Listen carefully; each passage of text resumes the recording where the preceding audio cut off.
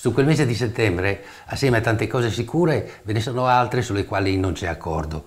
Non c'è accordo sul tempo e addirittura in alcuni libri non c'è un'indicazione precisa neppure intorno al numero dei morti e alla data dell'avvenimento. C'è chi dice che quel giorno pioveva e altri che sostengono che quel giorno ci fosse una nebbia fittissima. Sono tutte e due indicazioni credibili, perché quassù di settembre piovosi non ce ne siamo mai fatti mancare e, a onor del vero, nemmeno di settembre nebbiosi abbiamo fatto a meno. Nebbie fitte da scoraggiare i cacciatori più volonterosi. Sì, indicazioni credibili e probabilmente facilmente verificabili, ma non chiedendo a quelli che erano lì in quei giorni. Quando si vuole parlare di fatti storici, la testimonianza diretta è quella alla quale ci si rivolge abitualmente, ma non è detto che coloro che erano presenti costituiscano una testimonianza attendibile. Ognuno di noi, così come ricorda, dimentica, organizza i ricordi a suo piacere, smonta e rimonta i fatti. Ma è il bello dei ricordi. Si parla convinti di quello che si crede di aver visto, si crede di aver vissuto, salvo poi scoprire che quegli stessi avvenimenti, quella stessa giornata, gli altri, quelli che si sbagliano, l'hanno vissuta in modo diverso. Siamo tutti convinti d'aver visto giusto, perché me hai sera, hai ovest. Nessuno riuscirà a convincerci che siamo noi quelli che si sbagliano. E poi c'è il fiume della vita, che si porta via quasi tutto, tranne quei pochi ricordi ai quali siamo così affezionati che niente, nessuno può cancellarli e che noi nel corso degli anni abbiamo così coccolato da farli diventare quasi un romanzo. Insomma, io non mi fido troppo e poi sono convinto che debbano ricordare quelli che non c'erano e che i fatti possono essere anche un poco accomodati per fare in modo che ne emerga il significato, il valore. Sono quelli che non c'erano che devono ricordare. Loro sono i giovani a dover fare i conti con i ricordi.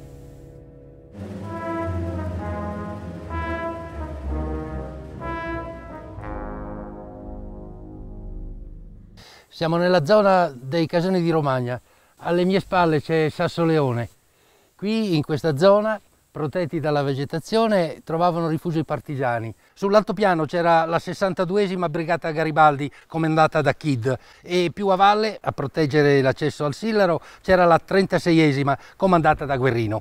Da qui partivano e tornavano i partigiani per tutte le loro incursioni, compresa quella del 28 luglio e quella del 23 settembre, che determinò la tragica rappresaglia dei tedeschi. È la notte del 27 luglio, quando un manipolo di partigiani venuti giù dai casoni si riunisce con l'idea di entrare in paese l'indomani in pieno giorno, quando nessuno se lo aspetta. Siamo nei pressi del casetto di Mezzaluna. Qui il 27 luglio è un giovedì e fa molto caldo, si appostano i partigiani per quella che verrà ricordata come la prima rappresaglia in paese. Il gruppo principale sarà protetto da due pattuglie di tre uomini ciascuna. Obiettivi. Occupare la caserma e catturare due spie. Per strada incrociano un carro tirato dai buoi, con quattro tedeschi sopra, dall'aria poco pericolosa, e che si fanno prendere senza nessuna resistenza. La cosa sembra da niente. Un carro di buoi e quattro soldati spaventati, ma mette agitazione. Vai a sapere se ce ne sono altri nascosti intorno e magari meglio armati. Allora via, di corsa, in paese, che bisogna fare presto divisi come avevano stabilito in pattuglie, entrano sparando da punti diversi del paese e tutto si fa silenzio con le finestre che si chiudono una dopo l'altra. I partigiani, appena entrati in paese, eh, si dirigono, probabilmente seguendo questo sentiero, verso la caserma. È uno dei loro obiettivi principali. Vogliono stanare il gerarca e sono convinti che la loro azione progettata per il tardo pomeriggio coglierà tutti di sorpresa sono pronti a combattere, ma con loro grande stupore vedono uscire dal portone il gerarca che ha le braccia alzate e le mani sulla testa e si arrende immediatamente. Poi stanano il gobbo e per lui non c'è scampo. Ha fatto deportare dei renitenti e una famiglia di ebrei, una raffica e via. Lasciata la caserma, i partigiani si dirigono verso la piazza. Anita è alla finestra e riesce a seguire tutte le loro operazioni. Dall'alto vede i partigiani catturare, processare sommariamente ed uccidere un collaboratore dei tedeschi, un certo Pasquale. Sulla piazzetta, al suono delle campane a martello, si aspetta che tornino tutti quelli che sono andati a cercare quel collaborazionista di Pierone. Ma arrivano col fratello di lui, e però lui non ha fatto niente, e quell'altro che dovrebbe pagare per le sue malefatte si è squagliato in tempo ancora una volta. Finito, non c'è altro da fare, non c'è tempo. Quando tutti hanno raggiunto il punto di raccolta bisogna andare via. Alla fine ci sono anche otto prigionieri, quattro tedeschi e quattro della Brigata Nera, un po' di armi e bombe a mano, niente di che, ma sempre roba che si può usare. Ma bisogna far presto a tornare sui monti. Ormai fa buio. Il 28 arrivano i tedeschi, ma trovano ad accoglierli soltanto Don Ferri. Ha una gamba ingessata e non ha potuto, come tutti gli altri, fuggire o nascondersi. L'ufficiale lo accusa di essere come tutti gli altri un partigiano. Ma Don Ferri, con santa pazienza e alcuni fiaschi di grappa, riesce a convincerli delle sue buone intenzioni, ma non riesce a fare in modo che la richiesta dei quattro prigionieri da liberare venga annullata. Ancora una volta l'azione di Don Ferri è determinante. Si offre di raggiungere i partigiani per trattare con loro e ottiene tre giorni di tempo. È appena partito quando in paese giungono le SS, che avrebbero voluto farlo fuori, e saccheggiano e arrestano una ventina di uomini con l'intento di deportarli in Germania. Anche Mario, che all'epoca ha 15 anni, viene caricato sul camion. Nonostante i pianti della madre, che cerca di convincere i tedeschi di liberarlo, non ottiene nessun risultato ma per sua fortuna Mario, alla curva sopra Gavaruzza, riesce a saltare dal camion e a ottenere la libertà. La trattativa di Don Ferri non giunge a buon fine e nel timore di ulteriori rappresaglie, raccolti i pochi beni della Chiesa, fugge con i pochi rimasti. Strana la guerra, porta con sé momenti di sorprendente vicinanza tra uomini e donne che dovrebbero combattersi ma che a tratti sembrano dimenticarsi di essere comandati ad odiarsi e si ritrovano ad aiutarsi come fossero vecchi amici. E nello stesso tempo, negli stessi luoghi, fra gli stessi uomini, momenti durante i quali i soldati si dimenticano di essere uomini e possono mostrarsi capaci di compiere azioni terribili, possono spingersi fino a limiti inimmaginabili di ferocia e di sopraffazione che lasciano ferite incancellabili. E non si dica che sono i ricordi degli altri, perché i ricordi sono di tutti, di tutto il paese, del paese di prima e di dopo, soprattutto se si parla di guerra, di lotta, di sacrifici, di paure e di dolori. Sono di tutti perché sono scritte nell'aria, sui muri, agli incroci, nelle strade, alle svolte. Basta guardarsi intorno senza avere lo sguardo svogliato di sempre, ma con la volontà di vedere. Guarda lì, per esempio. Una lapide con tutti quei bei nomi sopra, tutti ordinati in ordine alfabetico. Uno passa e li legge, e appena ne ha letto uno, uno qualunque, deve cominciare a ricordare, e per ricordare deve guardarsi intorno, perché i nomi sono lì, ma non era proprio quello il luogo dove sono stati uccisi. E anche se prendi soltanto il primo nome e te lo ripeti un paio di volte, Arcangeli Giovanni. Arcangeli Giovanni. Arcangeli Giovanni. Ecco che ti viene in mente che qualcuno una volta l'ha detto che lui era con sua moglie e qualche altro nascosti vicino alla chiesa, nei rifugi costruiti nella riva tra le acacie. Parlavano e ognuno diceva la sua, ma a te è rimasto impresso lui, perché hai sentito dire che sua moglie si è salvata e tu te lo ricordi per via del suo nome, quello di lei, Ariodina, che è un po' inconsueto lo è, e per via delle acacie che ti sono sempre piaciute, per il profumo. I ricordi a volte fanno dei giri strani e arrivano a depositarsi come fanno i semi di certe piante, che non cadono proprio ai piedi sotto l'albero, ma vanno a finire lontano, perché il vento se li prende, li porta via, chissà dove, nemmeno loro lo sanno. E poi lo vedi che i ricordi sono di tutti, come i profumi, bisogna vedere con cosa li associ.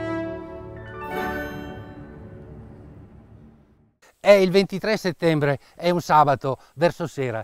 Da questa zona dove un tempo sorgevano numerosissime vigne sale un gruppo di partigiani che si dirige qui verso la casa di Luigi Padovani.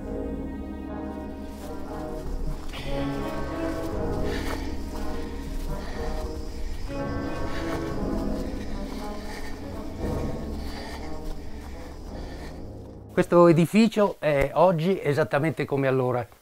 A noi può sembrare poco accogliente, ma in realtà si tratta di una bella casa. È disposta su due piani e ha ospitato due famiglie, anche piuttosto numerose.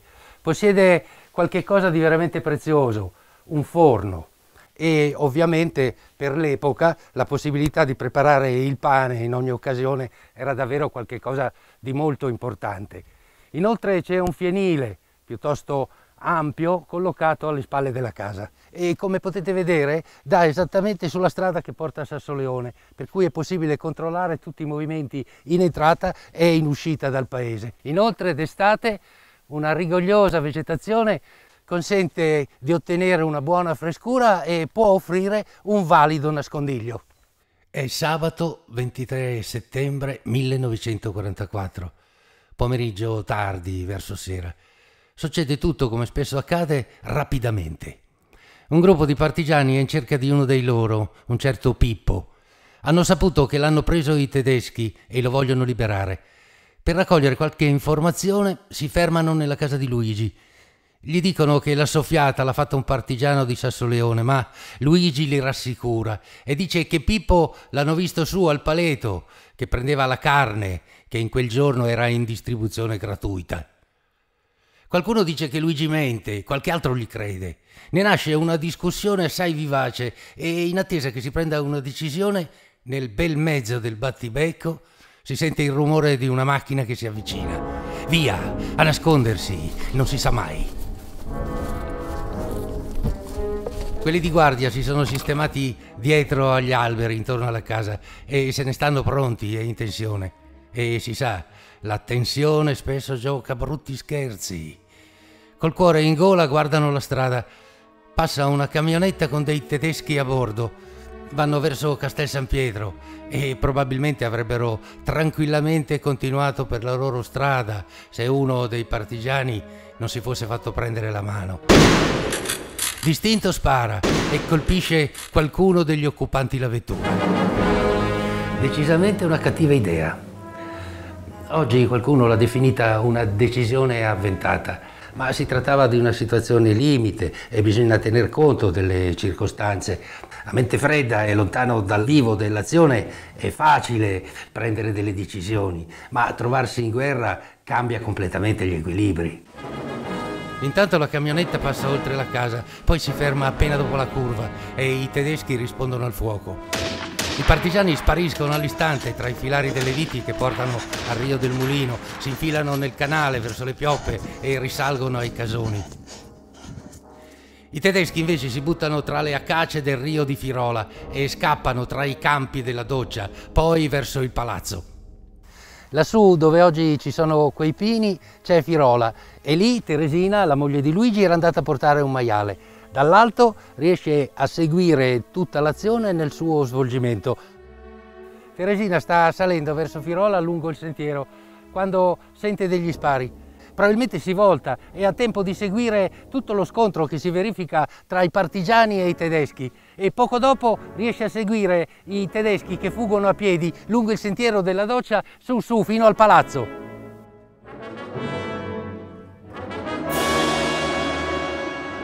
I due tedeschi risalgono lungo questa strada e si rifugiano qui al palazzo dove trovano Augusto Padovani e a lui chiedono di essere accompagnati a Belvedere dove c'è il loro quartier generale.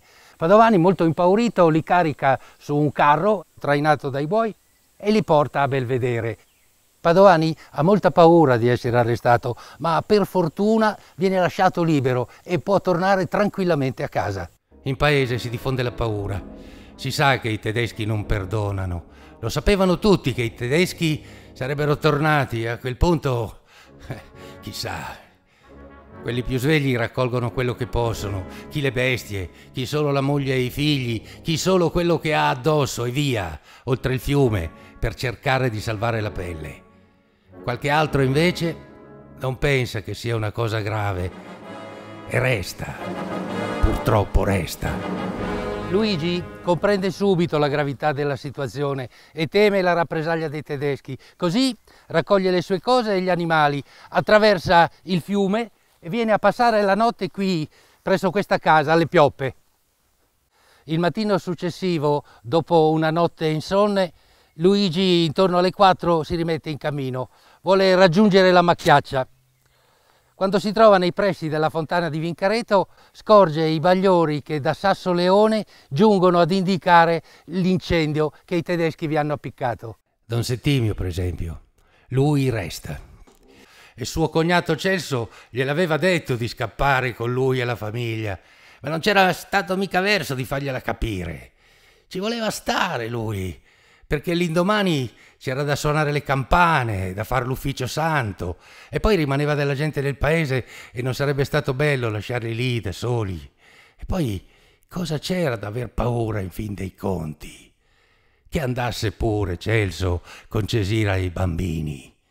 Lui restava. Questa via è via Martiri della Rappresaglia, in ricordo di tutti i caduti di quella drammatica giornata. Quando i tedeschi entrarono in paese nessuno si aspettava che potesse svilupparsi tanta violenza. Tutto era molto tranquillo nelle case, ma improvvisamente il paese fu invaso da uh, urla, schiamazzi, ordini, colpi di fucile e tutti cominciarono a chiudere le finestre e si rifugiavano all'interno per poter sfuggire alla loro cattura. Piano piano la paura prese il sopravvento in tutti coloro che non si aspettavano un simile atteggiamento da parte dei tedeschi, ma il loro comportamento fu irremovibile. Portarono fuori dalle case chiunque potevano trovare, vecchi, donne, bambini, bambini soprattutto. E poi insomma la Chiesa, la chiesa è un po' il cuore del paese insieme all'osteria o il centro sociale, posti dove la gente si raduna e anche questo te lo ricordi, perché la raccolta di quelli da punire con la morte i tedeschi l'hanno fatta dalla chiesa al voltone. Ti è bastato chiedere, ma di quando è questa chiesa? Che la nonna che ti stava accompagnando in un posto qualunque del paese o uno lì di passaggio che sente la domanda subito te l'ha raccontata Oh, è del 1700. E con la chiesa la storia del parroco, di Don Settimio Patuelli, che c'è anche il suo di nome. Di lui, che non era il parroco titolare, lui era parroco a Osta. Il titolare aveva una taglia sulle spalle e figuriamoci se qualcuno aveva voglia di prendere il suo posto. Ogni tanto passava qualcuno, ma diciamo che era un passaggio di volata proprio per far contenti i superiori più che i paesani. Insomma, alla fine il povero Don Settimio si sente comandato e ci va a Sassoleone e riapre la chiesa e rimette al suo posto il ritratto della Madonna delle Grazie, il dipinto della scuola del Reni che tutti ci tengono ad averlo e a vederlo perché è un bene prezioso, un bene di tutti e tutti sono contenti, anche i tedeschi che non hanno nessun timore di quel bravo parroco. I tedeschi riunirono tutti i prigionieri in questa zona sul sagrato, dalla chiesa fino a questo punto, sotto il voltone. Don Settimio si offrì volontario perché venissero risparmiati tutti i prigionieri, ma i tedeschi non lo vollero ascoltare e con pochi colpi di mitra uccisero tutti coloro che avevano catturato.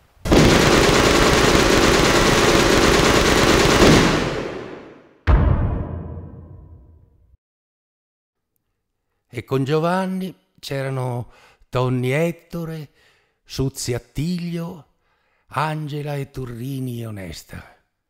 Tutte le case che sorgevano in questa zona, dal Voltone fino alla Torre Campanaria, vennero rase al suolo dalla rappresaglia dei tedeschi. Le fiamme dell'incendio furono viste da lontano, da quelli che erano scappati e se ne stavano lontani, col cuore in gola, a vedere andare in fumo tutti i loro poveri beni.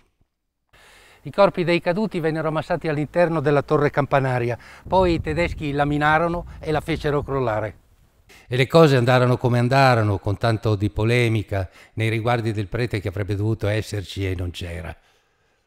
La chiesa invece resistette. Cadde qualche giorno dopo, quando fu abbattuta per errore da un bombardamento alleato. In certe circostanze restano delle ombre che si vorrebbero cancellare con la ruspa, come hanno poi fatto gli inglesi in dicembre, per livellare le macerie della chiesa e farne uno spiazzo utilizzabile per piantarci un deposito di viveri per la truppa. Ma non ci sono ruspe capaci di cacciar via le ombre. Qualche volta basta il vento, ma deve essere quello della verità e quello soffia raramente e il più delle volte viene contrastato da quello opposto, quello della cattiva coscienza, che ha bisogno di restare giù in cantina, al fresco, al buio appunto. E così restano le ombre e la storia è fatta di brandelli, come quelli di quei poveri corpi che il Badile ha fatto comparire d'improvviso tra le rovine e tu hai un bel da fare cercare di rimettere insieme questi brandelli per ricostruire un corpo di qualcuno che magari non ti aspettavi di ritrovare proprio lì, sotto quei massi. Magari pensavi che la famiglia sfollata da Bologna, che si era sistemata sopra la sagrestia e che all'arrivo dei tedeschi aveva cercato rifugio nel sottoscala, non si vedessero più in giro non perché erano caduti sotto i colpi dei soldati nazisti, ma perché se n'erano andati alla prima occasione e si erano salvati. E qualcuno che diceva di averli visti c'era e forse si ostinava a credere che fossero in salvo, perché riscalda il cuore sapere che qualcuno si è salvato e li ha fatti fessi coi crucchi. Peccato che non fosse vero. Peccato.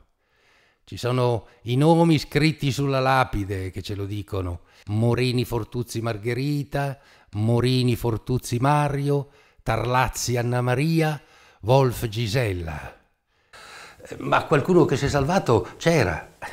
Si sono salvati Barnaba Dario, Pagani Domenico e sua moglie Maurizi Colomba, che si sono nascosti nel solaio sovrastante la legnaia a pian terreno della casa del maestro Bassi. Infatti i loro nomi non ci sono sulla lapide. Ci sono però quelli delle altre due che hanno bloccato sotto al pian terreno e che hanno portato via. Fiumi Fiorina e Fiumi Emilia. E poi ancora quelli della stalla di Poldone, Poli Clotilde, Ghini Giuseppina, Lelli Maria, Monti Francesca e più su, verso il Voltone, dal Monte Emma, Domenicali Elsa e Scala Giuseppe. Tanti, troppi. E tutti in base a un principio disumano, ingiusto, solo per sviluppare terrore, per spingerti ad odiare quei compagni che si battono anche per te e farti arrivare al punto di domandarti se non è meglio tradire che sopportare quell'insulto di vedere tutto il paese trascinato via per essere giustiziato, per vendetta, oppure a farti sentire pieno di vergogna d'esserti salvato, d'essere scampato. È normale che uno scappi e si nasconda, si capisce, ma quando scopri che sei uno dei pochi che ha salvato la pelle, fai fatica a non sentirti un po' come si sente un ladro che ruba qualcosa di prezioso in casa di un amico. In un modo o nell'altro, il rastrellamento, la fucilazione lì, davanti a tutti, di gente inerme, mette in ginocchio la popolazione e rende ancora più vendicativi gli altri, e così tutto concorre a non farla finire mai, la guerra. anche un piccolo angolo del mondo come Sasso Leone ha dovuto confrontarsi con questo aspetto inumano della guerra e ha lottato e ancora lotta per costruire su quell'episodio un futuro diverso. Tocca a chi non c'era ricordare, e ricordare non soltanto i luoghi e gli avvenimenti, ma ricordare quale futuro sognare insieme.